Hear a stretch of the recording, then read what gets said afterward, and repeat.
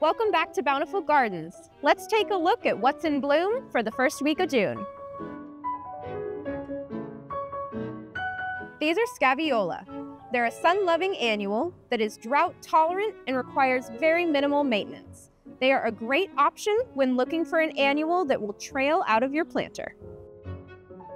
We're back again at Bountiful Gardens with our huge selection of annual salvias. As you can see, we've got a large selection of colors in stock right now. They're definitely worth checking out. They're deer resistant, and hummingbirds also love them. Our bunny tails are in full fluffy bloom. They're a type of grass and they're really popular to use for a pop of texture in your container garden.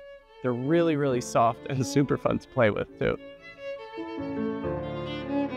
These are snapdragons. They're a sun-loving annual that loves to be well watered and will do best when you take off any of the dead blooms.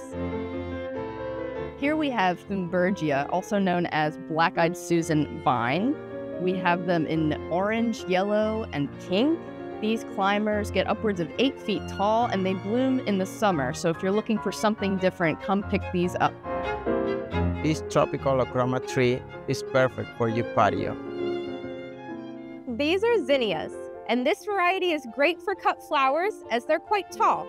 They're a drought-tolerant, sun-loving annual that butterflies adore. And if you let them go to seed, you'll see a whole bunch of goldfinches. Now that it feels a little more tropical outside, our bananas and cannas are out of the greenhouses and ready for planting. These are really fast-growing, lush tropical plants, great for a pool or a patio area. What's great about them too is that once the summer is done, you can cut them back and bring them inside into the garage or a dark place in the home and bring them outside again next year to plant again. They'll keep regrowing season after season. Great time to get your nanas and cannas. Our indoor and tropical house has gotten a major refresh with all sorts of new plants like calathea and ficus plants. We've got a lot of brand new citrus trees in, things like Meyer lemons, dwarf key limes, and even some grapefruits as well. We've also just gotten a major restock of all sorts of philodendrons, including the pink princess. This is larkspur, also known as delphinium. It's a northeast perennial native that likes full sun. This flower is great to attract both bees and butterflies to your garden. Here at Bountiful Gardens, our sundrops are in bloom. These yellow blooming native perennials are also known as evening primrose. They are drought tolerant and deer and rabbit resistant.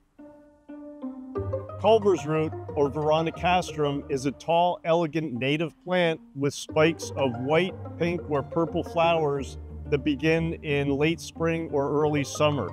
It's a pollinator magnet and it's a good choice as a vertical element in a garden setting or meadow planting. These are serviceberry, otherwise known as shadblow. They're a native here that likes damp, well-drained soil, and their edible berries form in June. We're back again at Bountiful Gardens with our huge color selection of Monarda, or bee balm. It's a North American native and prefers full sun, but can also do a little bit of shade. It's great because it attracts both butterflies and bees. It's also deer and rabbit resistant and would look great in a butterfly garden or as a perennial border. These are Sweet Bay magnolias. They're native and like clay soil and partial shade. Their white, saucer-shaped flowers have the sweetest smell. Redbuds are just one of the trees that we have here at Bountiful Gardens. The eastern redbud in particular is a New Jersey native, but we have a ton of cultivars to fit all your needs and color selections. They're popular amongst customers because of their heart-shaped leaves. They also attract butterflies and nesting birds.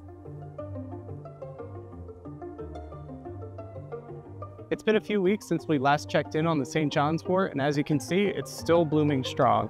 This is going to continue blooming through the rest of the summer, and some of them are already forming the little ornamental berries that are going to stay on the shrubs through the season and then start changing colors in autumn too. So that'll be exciting to see soon. If you're looking for a ground cover for a woodland or shady garden, Epimedium, also known as barrenwort, is an excellent choice. Epimedium is semi-evergreen with the foliage you see in front of you lasting through most of this coming winter. I like to clip off the old foliage late in the winter or early spring before the new foliage emerges. Epimedium does terrific in dry shade. The flowers, which resemble orchids, come in numerous colors, and it's deer resistant. We have more clematis bloom, like this beautiful variety in front of me. With their fern-like foliage, astilbes are a terrific addition to a woodland or shady garden. Flower spikes emerge in late spring, ranging in colors from reds to pinks to purple to white, and they make an excellent cut flower either dried or fresh. This is another one of our perennials here at Bountiful Gardens that loves full sun, the blanket flower. They're also deer and rabbit resistant, which makes them perfect for most gardens. They look great, especially with echinacea, Shasta daisies, and phlox surrounding them. Balloon flower is a perennial with fun, colorful blooms. Ligularia is a robust grower that will make a dramatic statement in your shade garden with its large serrated leaves and flower spikes of orange and yellow flowers in midsummer. We have another food forest update for you here. We have red raspberries and blackberries. These are great in full sun to part sun and are a wonderful addition to shadier parts of your garden or your food forest.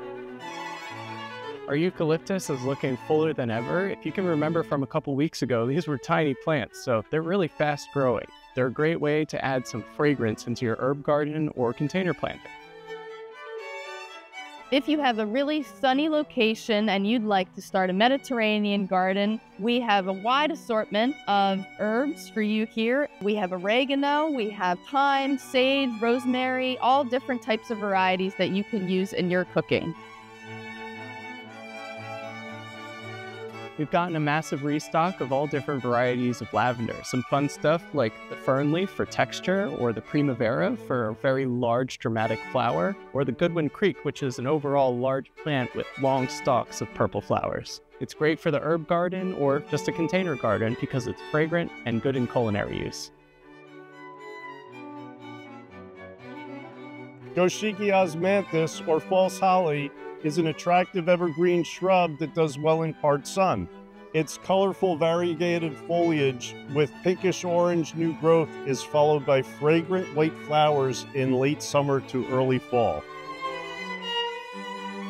These are Weeping Blue Colorado Spruce. These are a great choice for people who want more of an ornamental tree in their yard because they grow in these really dramatic fashions with branches that sort of drape down or weep like the name suggests. They have this really striking blue foliage too, so they'll really stand out in your yard. They love full sun and they can grow about 8 to 9 feet tall, no higher than 10 foot.